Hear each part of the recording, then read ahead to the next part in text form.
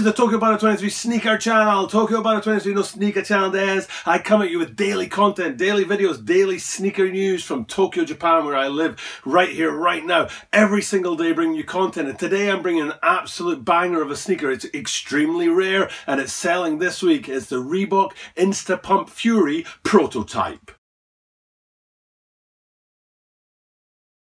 As I said in the introduction, this is all about the Reebok Instapump Fury prototype, which is going on sale this week on Friday, the 22nd of March. Konsu Kinyobi, Niju Ninichi Hatsubai They're bringing out this sneaker this week to mark the 25th anniversary of the Instapumps going on sale, and it was a sneaker before its time when it came out in 1994. It looked really funky, it looked futuristic, but now we're here in the future, and this sneaker, I say, is of its time right here and right now. So it's a great great time to bring out the prototype, great, great time to bring out a rare few number of these sneakers, very few number, which I'll be talking about in today's video. このスニーカーは日本でもすごい人気がありますので、ぜひこのビデオを見てください。Uh, and sometimes, as I am here in Japan, I do like to slip into Japanese, which I did just then. You might not have noticed. I'm sure you did. Uh, but I do like to slip into Japanese because I want to keep it bridged between those overseas sneakerheads and the Japanese sneakerheads right here in Japan. So without further ado, let's have a look at this sneaker. I did say that that it is the 25th anniversary of the Instapump and there are going to be a very few number of these dropping.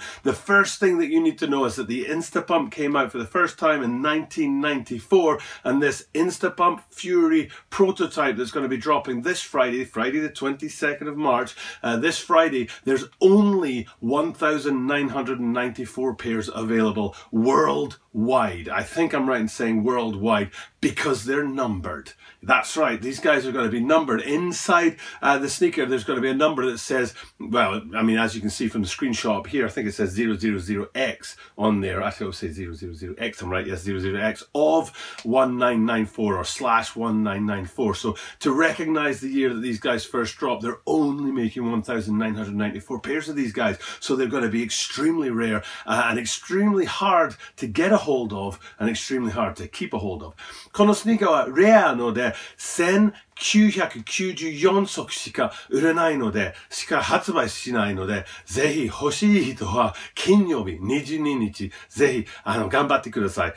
買う人はね、その世界中に1994足しかないので、買えるかどうかわかんないんですけど、うん、東京バタ23を買ってみるので、そっちに買ってみたい人は頑張ってください。So they're numbered on the inside to mark that the 25 years since 1994 when these guys first dropped just 1,994 pairs going on sale, which is quite incredible. But it is an iconic sneaker and it is an iconic look for a sneaker. And to me, what makes this sneaker amazing is actually what is not there as opposed to what is there. And there are three things that I want to talk about in that department. Now, the first thing we're going to talk about is the obvious that the laces are not there. It's the Insta pump. And I remember when these guys came out the first time, all of the Reebok pumps, and it was, the idea was that you could just put your foot in, slide your foot in, and then you just pump it up, and it will give you that solid sort of lace feel without actually having laces on it. And everybody was like, really? Is that going to work? Is that really going to be the next evolution from laces? But that was 25 years ago, and now they've perfected that technology, and it really is a good fit, a snug fit, and they are incredibly popular here, as they are in uh, many places across the world. So the first thing that is not there is laces, which is replaced front and center right there on the where the tongue would be if these guys had a tongue. Front and center, you've got the pump for inputting the air itself, and then the valve for letting the air out so that you can get your foot out of the sneaker. So that's the first thing that's not there, which is distinctive about the sneaker. The second thing that's not there is in that upper, you can see that there are panels missing. You can look right through from the medial side to the lateral side on these sneakers, uh, and they have that bright citrus coloring and uh, the reds on there really, really pops on its colorway. I really like the colorway itself. Great balance of the colors but in that upper the thing that's uh, interesting is the bit that's missing and that's that panel on the side there that helps you look right through the sneaker. Again it was unique back in 1994 futuristic looking and here we are in the future and I think it looks great for this day and age. And the final thing that's missing on this sneaker is the mid-foot outsole. I've always thought it was cracking to have these sneakers with just what looks like the forefoot and the heel section of the outsole and then a whole chunk missing right through the middle but it works uh, and it really works because the rest of the sneaker is missing parts as well. So you've got three bits top to bottom of the sneaker. The lace is missing, the panel on the side missing, and the midfoot outsole missing as well. So it's an incredible looking sneaker from the point of view of what's missing on it. And that is what I think makes these an iconic sneaker. And there's only 1,994 of them available on Friday. I'm going to try and get my hands on a pair. This is the first Reebok review I've ever done for this channel. I'm, I'm going to try and get my hands right on these guys if I can.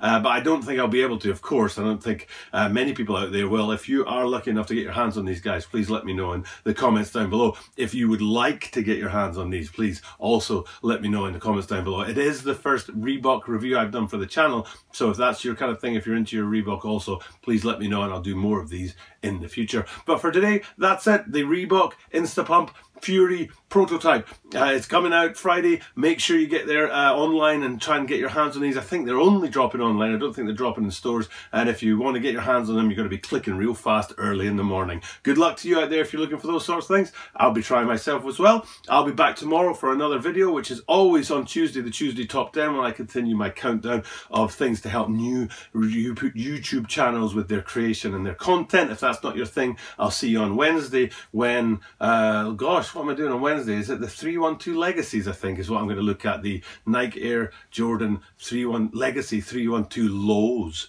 uh, I think is what's coming on Wednesday. So if it's sneakers you're after, I'll see you on Wednesday. If it's content you're after, I'll see you tomorrow. Either way, I'm here every single day and I will definitely see some of you tomorrow.